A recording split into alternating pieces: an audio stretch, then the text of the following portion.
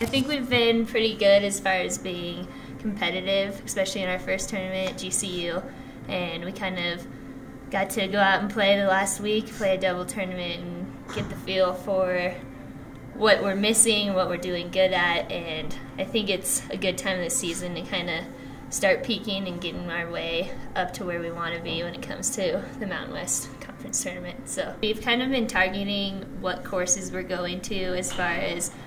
what we need to work on. So Southern Dunes greens are pretty quick, but they hold really well versus courses we played in the past have had newer greens, so they haven't been holding well. Um, so we've been kind of working on full swing with ball flights and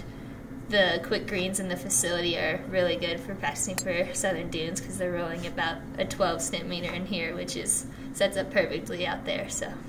I always like going back to courses I've played because just an added education and you have been there before, so every round's different, but you also know what to expect. And Southern Dunes is one of the most beautiful courses we play, and having it be our home tournament is like a big honor and kind of puts a chip on your shoulder that you want to do well. So